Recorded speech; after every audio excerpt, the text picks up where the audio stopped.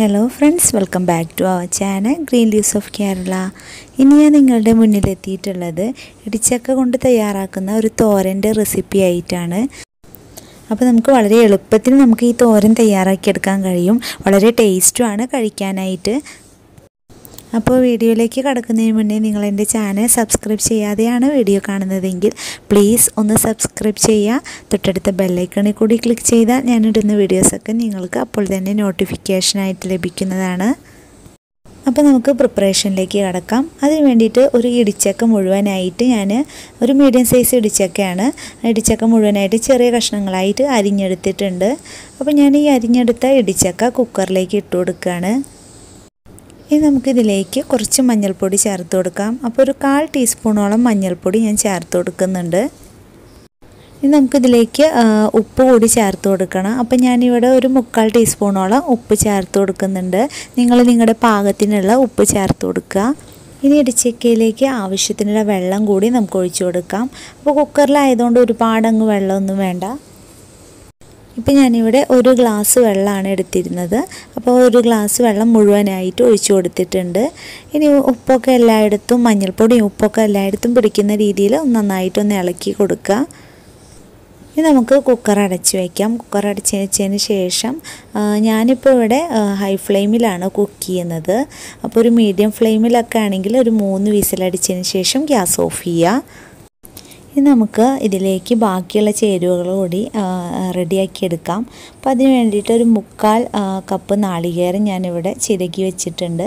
പിന്നെ വേണ്ടത് കുറച്ച് പച്ചമുളകും പിന്നെ വേണ്ടത് കുറച്ച് വെളുത്തുള്ളിയും. അപ്പോൾ ഞാൻ പച്ചമുളക് ആറ് വലിയ സൈസ് പച്ചമുളക് എടുത്തിട്ടുണ്ട്. ഒരു പന്ത്രണ്ട് അല്ലി വെളുത്തുള്ളി എടുത്തിട്ടുണ്ട്. നമുക്കിത് മിക്സിയുടെ ജാറിലേക്ക് ഇട്ട് കൊടുക്കാം. അപ്പോൾ ഇതിൽ ഇനി നല്ല ജീരകം ചേർക്കണമെങ്കിൽ ചേർത്ത് കൊടുക്കാം. പക്ഷേ ഞാനിവിടെ നല്ല ജീരകം ചേർത്ത് കൊടുത്തിട്ടില്ല. സാധാരണ ഞാൻ ഉണ്ടാക്കുമ്പോൾ നല്ല ജീരകം ചേർത്ത് കൊടുക്കാറുണ്ട്. അപ്പോൾ നല്ല ജീരകത്തിന്റെ ഫ്ലേവർ ഇഷ്ടപ്പെടുന്നവരാണെങ്കിൽ നല്ല ജീരകം ചേർത്ത് കൊടുക്കാം. പിന്നെ നമ്മൾ എടുത്തിരിക്കുന്ന പച്ചമുളക് എരിവൊന്നും കൂടുതലാവില്ല. കാരണം നമ്മൾ എടുത്തിരിക്കുന്ന ഇടിച്ചക്കയുടെ ക്വാണ്ടിറ്റിക്ക് അനുസരിച്ചിട്ടാണ് നമ്മൾ പച്ചമുളക് എടുത്തിരിക്കുന്നത്. അതായത് പിന്നീട് ഞാനിതിൽ എക്സ്ട്രാ എരിവിനായിട്ട് മറ്റൊന്നും ചേർത്ത് കൊടുക്കുന്നില്ല. മുളക് പൊടിയോ അങ്ങനെ ഒന്നും ചേർത്ത് കൊടുക്കുന്നില്ല. അതുകൊണ്ടാണ് ഇത്ര അധികം പച്ചമുളക് എടുത്തത് കേട്ടോ. അപ്പോൾ നമ്മൾ വെളുത്തുള്ളിയും പച്ചമുളകും നാളികേരം ചിരവിയതെല്ലാം ഈ മിക്സിയുടെ ജാറിലേക്ക് ഇട്ട് കൊടുത്തിട്ടുണ്ട്. ഇനി ഇതിലേക്ക് ഒരു കാൽ ടീസ്പൂൺ മഞ്ഞൾപ്പൊടി കൂടി ചേർത്ത് കൊടുക്കാം. ഇനി നമുക്കിത് നല്ലപോലെ ഒന്ന് അരച്ചെടുത്തിട്ട് വരാം. അപ്പോൾ നമ്മളിതിൽ വെള്ളമൊന്നും ചേർക്കാതെയാണ് അരച്ചെടുത്തത്. ഇപ്പോൾ നമുക്ക് ഈ ഒരു സമയം കൊണ്ട് നമ്മുടെ ഇടിച്ചക്ക എന്തായെന്ന് നോക്കാം. ഇപ്പോൾ വിസിലൊക്കെ പോയിട്ടുണ്ട്. വിസിൽ പോയതിന് ശേഷം ഞാൻ തുറന്ന് നോക്കിയപ്പോൾ നമ്മുടെ ഇടിച്ചക്ക നന്നായിട്ട് വെന്തിട്ടുണ്ട്. ഇതാ ഇതുപോലെ ഇടിച്ചൊക്കെ നല്ലപോലെ വെന്ത് കിട്ടണം. അപ്പോൾ നമ്മൾ കുക്കറിലേക്ക് ഒരു ഗ്ലാസ് വെള്ളമാണ് ഒഴിച്ചു കൊടുത്തിരുന്നത്. അപ്പോൾ ഒരു ഗ്ലാസ് വെള്ളമൊക്കെ വെറ്റിയിട്ടുണ്ട്. ഇനി ഞാൻ ഇതുപോലത്തെ ഒരു തവി വെച്ച് നന്നായിട്ടൊന്ന് ജോയിന്റ് ആക്കി കുത്തി ഉടച്ചെടുക്കാൻ പോവുകയാണ്. അപ്പോൾ നമ്മൾ ഇങ്ങനെ ചെയ്യുമ്പോഴായിരിക്കും നമ്മുടെ ഈ ഇടിച്ചക്ക തോരന് കുറച്ചുകൂടി ഒരു ടേസ്റ്റ് കൂടുതലുണ്ടാവുക. ഇപ്പോൾ ഞാനിത് നല്ലപോലെ ഉടച്ചെടുത്ത് വന്നിട്ടുണ്ട്. ഇനി നമുക്ക് ഇതിലേക്ക് നമ്മൾ നേരത്തെ തയ്യാറാക്കി വെച്ചിരുന്ന നാളികേരത്തിന്റെ മിക്സ് കൂടി ചേർത്ത് കൊടുക്കാം. അപ്പോൾ നമ്മൾ നാളികേരത്തിന്റെ മിക്സ് മുഴുവനായിട്ട് ഇതിലേക്ക് ഇട്ട് കൊടുത്തതിന് ശേഷം നന്നായിട്ടൊന്ന് ഇളക്കി കൊടുത്ത് ഒരു മീഡിയം ഫ്ലെയിമിൽ നമുക്ക് കുക്ക് ചെയ്യാം. ഇനി നമുക്ക് ഒരുപാട് സമയമൊന്നും വേണ്ട. അതായത് ജസ്റ്റ് ഒന്ന് ചൂടായാൽ മതി നമ്മുടെ നാളികേരമൊക്കെ. ഇപ്പം ഞാൻ ഗ്യാസ് ഓൺ ആക്കിയിട്ടുണ്ട് അപ്പോൾ നന്നായിട്ട് നമ്മൾ ഇളക്കി കൊടുക്കുകയാണ്.